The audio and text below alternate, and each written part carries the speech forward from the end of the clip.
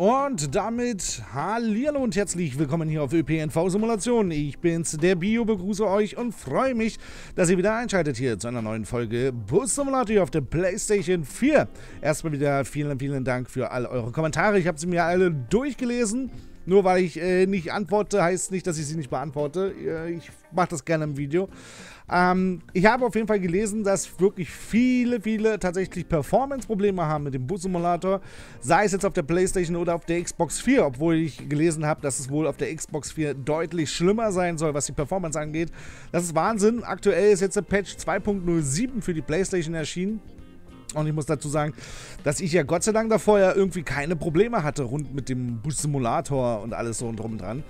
Ähm, das liegt jetzt natürlich, kann es jetzt daran liegen, weil ich jetzt die PlayStation 4 Pro habe. Mein Bruder spielt das Ganze auf der Xbox One X, also das beste Modell, was so in der Xbox-Liga ist. Aber auch er meinte, dass er da jetzt nicht so große Probleme hat, Abstürze oder sonstiges. Wie gesagt, ich hier auf der PlayStation 4 Pro auch nicht. Also ich kann das von daher nicht bestätigen, dass äh, wir hier jetzt irgendwie groß Probleme haben. Also da muss man jetzt mal scheinbar noch ein bisschen abwarten, wie das Ganze jetzt hier sich so weiterentwickelt mit Astragon und äh, Still Alive. Auch habe ich gelesen, dass äh, das DLC, was ich ja in der letzten Folge auf jeden Fall mal gezeigt hatte, äh, die Kartenerweiterung, die soll wohl oder ist wohl schon angekündigt worden. Einen Release-Termin gibt es aber noch nicht. Mal gucken, wann er dann kommt. Wir werden uns das dementsprechend hier natürlich auf dem Kanal anschauen. Und äh, soweit bin ich persönlich fertig so mit den ganzen News und alles hier so berichten, wie, weshalb, wo. Das heißt, wir können uns jetzt ganz gemütlich jetzt so komplett auf das Spiel konzentrieren und äh, mal schauen.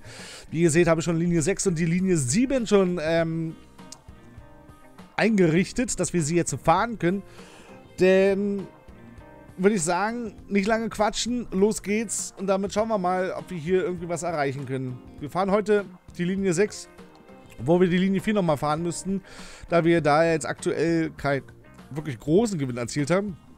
Und äh, ja, von daher, nein, ich will noch was machen. Ich würde nämlich gerne den Bus tauschen. Ähm. Nee, nee, nee, nee, nee. Ähm, und zwar war das.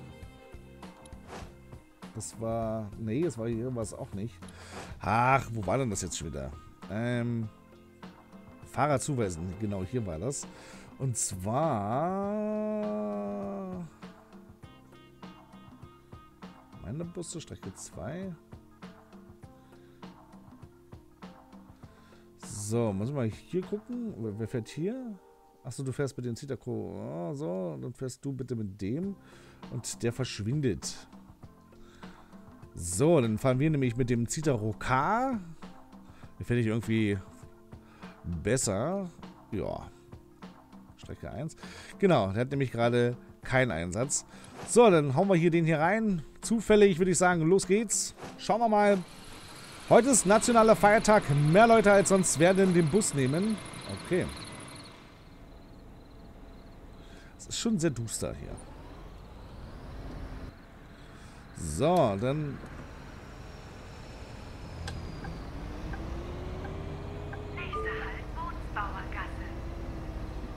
So wird mir die Fahrbahnmarkierung leider nicht angezeigt. Ach, Leute, Leute. Oh, oh. Oh.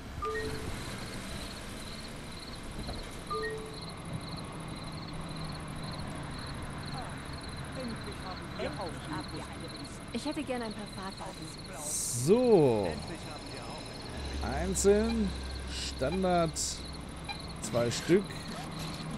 Und fünf 60. Ich brauche eine Fahrkarte. Einzeln, Standard, Brücken. 87. Kann ich bitte eine Fahrkarte haben? Einzeln, Standard, Brücken. Genau. So macht man das.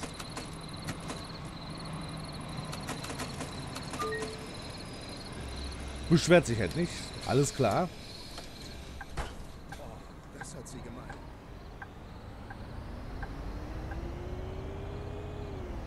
Uh.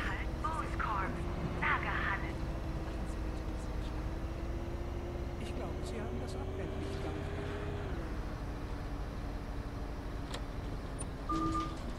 Ah, haben wir das Schlagloch mitgenommen?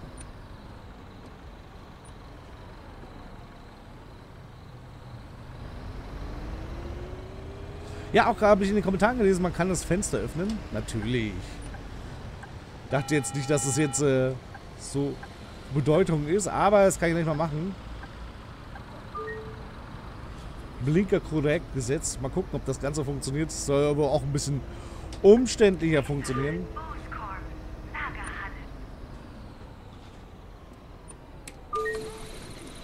So, irgendwie muss man das Ganze festhalten dann... Genau. Eine Fahrkarte bitte. Hey, hast du die letzte Folge von Winter der Leidenschaft gesehen? Äh, klar, ich hätte eine ja nie Woche, gedacht, dass Hans Standard, tun würde. drücken. Danke. Ich brauche eine Fahrkarte. Tag, Standard, drücken. Danke. Bitte. Eine Fahrkarte, bitte. Tag, Standard, drücken. So, auch die Sonnenblende. Hier haben wir die oben, ne? Die können wir natürlich dann auch benutzen und dann runterziehen. Na, das geht hier alles. Also das ist schon eine ziemlich coole Sache eigentlich. Muss auch sagen, es fetzt irgendwie, halt mal sowas auf der Konsole zu spielen. Ist natürlich ärgerlich, wenn viele damit jetzt ein Probleme haben. Oh, was, was hängt da in der Luft? Ah, das ist Laternen. Ah, okay. Er lädt das Ganze noch nicht so. Natürlich ein bisschen schade.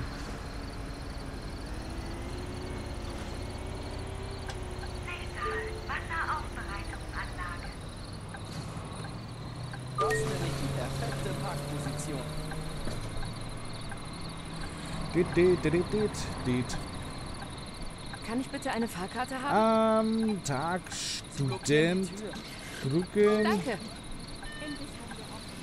Woche, Standard, drücken. 12 Euro. Ich brauche mehrere Fahrkarten. So, einzeln, Standard, drücken. Danke.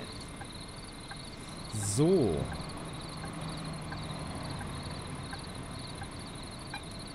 Hab Eigentlich immer gedacht, dass man... Nee. Na denn nicht. Vielleicht verwechsel ich das jetzt auch schon wieder. So. Nächster Halt. Hafen. Zentrallager.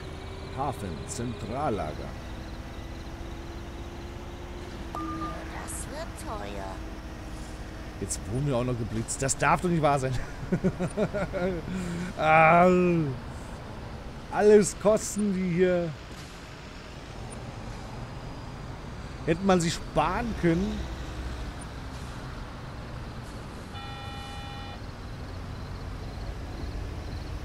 Ihr könnt übrigens in den Optionen auch das ganze HUD ausblenden, wenn euch das nervt. Ja, weil wir haben ja eigentlich so eine kleine Mini-Map hier im Bus, ne, in Form vom Tablet. Und dann habt ihr da nicht dieses große Fenster da. Zwar zeigt er euch dann auch nicht mehr an, wie schnell ihr fahrt und sowas, aber ihr habt halt doch ein bisschen realistisch, denn halt einfach nichts mehr irgendwie zu, zu sehen, außer jetzt unten da diese Meldung. Ja, also von daher, wenn ihr das ausschalten wollt, wie gesagt, findet ihr in den Optionen, ich glaube unter dem Punkt Grafik, wenn mich jetzt nicht alles Eine täuscht. Fahrkarte bitte. So, Tag, Standard, drücken, Danke. Ich brauche einige Fahrkarten bitte. Tag, Senior, drei Stück. Danke.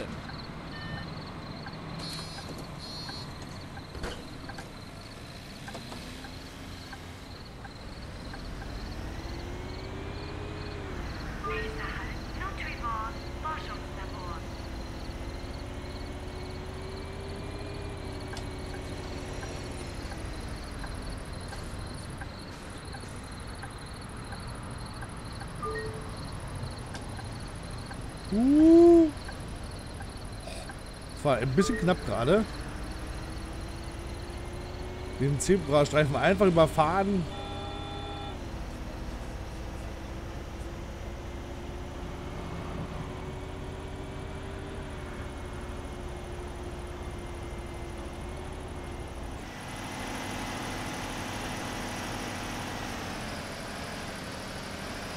Das sah aus wie so ein Schlagloch oder sowas.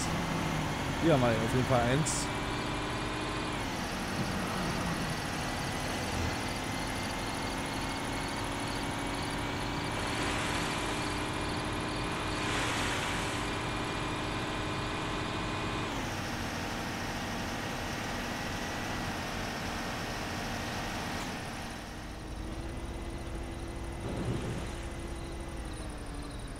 Ah, das war schon wieder Schlagloch. Das darf doch nicht wahr sein. So, Agrarzentrum. Oh, er lässt uns sogar. Das ist nett.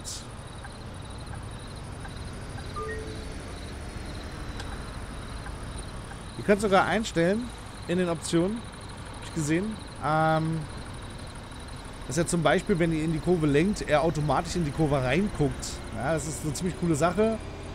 Ähm, macht man als Autofahrer. Du guckst ja halt schon so ein bisschen in die Kurve rein. Du guckst ja nicht nur Konzert geradeaus. ähm, Wie gesagt, das könnt ihr nachher einstellen. Furchtbar.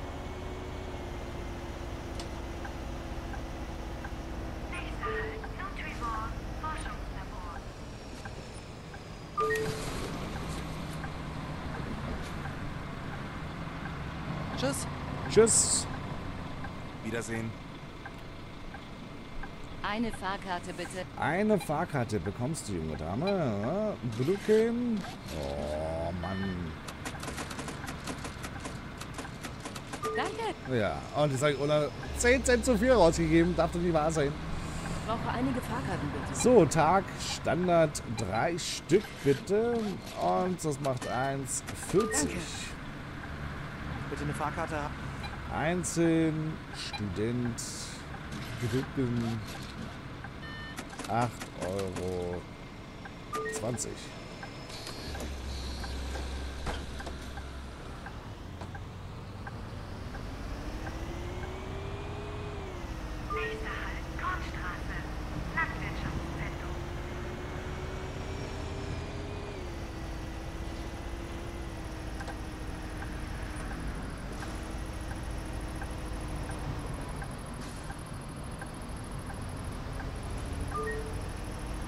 Oh. Falsch gefahren. Ja, das ist natürlich, ja, wenn die Minimap dann natürlich so klein ist, ja, siehst du manchmal diese kleinen Nebenstraßen nicht. Naja. Ehrenrunde, würde ich sagen. Drehen wir nochmal. Haben wir noch ein bisschen Zeit.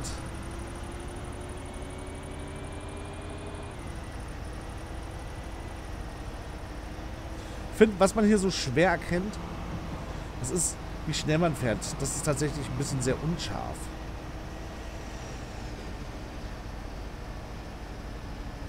Deswegen hast du ja da diesen Hilfs... diese Hilfs-HUD-Anzeige, dass du dir das zum Beispiel... Das siehst du halt äh, deutlich, denn, ne? aber wenn du das Ganze dann halt aus hast, ähm, ja,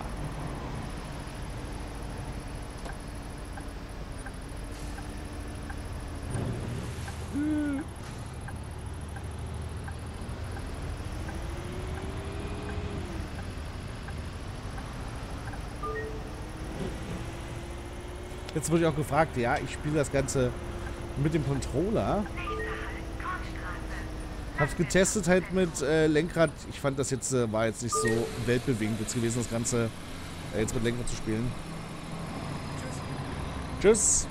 Ich denke, ich brauche mehrere Fahrkarten Woche bitte. Standard, zwei Stück, Danke. 56 Euro. Ich brauche einige Fahrkarten bitte. So, Tag, Student 2 und 9 Euro 20. Bitteschön.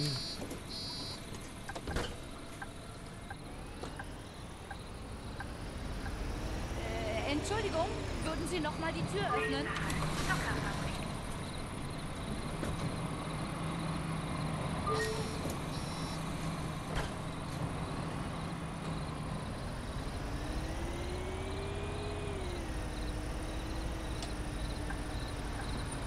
Und was ihr noch in die Option einstellen könnt zum Beispiel, sind äh, die ganzen Sachen, zum Beispiel Schwarzfahrer oder wie viele Leute, also wie oft was vergessen wird, die Falschparker und so weiter und so fort. Das könnt ihr halt auch alles in den Optionen einstellen. Also was ihr hier in dem Spiel allgemein halt einfach einstellen könnt, das ist eigentlich wie auf dem PC 1 zu 1 identisch. Also was jetzt so die Grafik-Settings halt angeht. Aber sonst äh, eigentlich eine relativ coole Sache. Ich finde, im, im Großen und Ganzen ist der Bus-Simulator wirklich nicht schlecht geworden Danke. auf der Konsole. Hätte ich äh, selbst nicht damit gerechnet. Was hältst du davon, wenn wir morgen zum Strand fahren? Ähm, das ist, Eine dass ich Fahrkarte sowas, sagen kann. Ja, dass ich irgendwann mal sagen kann, äh, es, es gibt einen Bus-Simulator für eine Konsole. Großartig. Ich brauche eine Fahrkarte. Einzeln, Senior.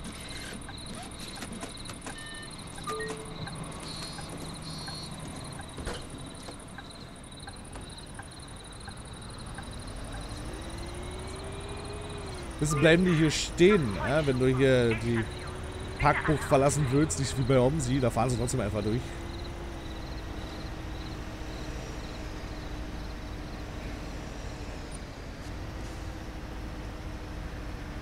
Uh, Nächster Halt zum Heuschuber. Endstation. Bitte alle aussteigen.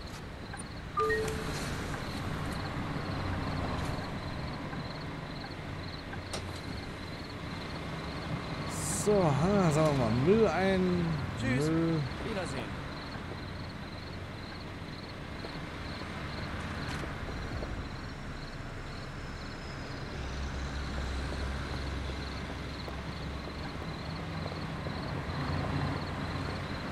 So, alles aussteigen. So.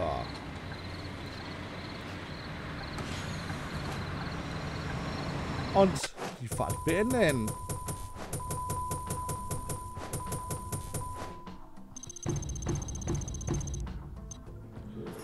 So, ja, wir haben den Iveco bekommen. Coole Sache. Den brauchen wir nämlich für unsere nächste Aufgabe, nämlich. Denn diese sagt nämlich, wenn wir uns das mal anschauen, fahre die Strecke mit einem Erdgasbus. Aktuell haben wir nur Dieselbusse. Das bedeutet, in der nächsten Folge werden wir uns den Iveco mal kaufen und werden uns den mal anschauen auf eine ja, neuen Linie. Ich denke mal, auf der Linie 7 wird das Ganze sein. Also, wenn ihr mehr sehen wollt, unbedingt wieder einschalten. Würde ich mich freuen. Und wenn es sonst gefallen hat, den Däumchen nach oben. Sonst sehen wir uns dann hoffentlich wieder zum nächsten Part wieder. Damit verabschiede ich mich. Danke fürs Zuschauen. Ciao, tschüss und hoffentlich wieder bis zum nächsten Mal.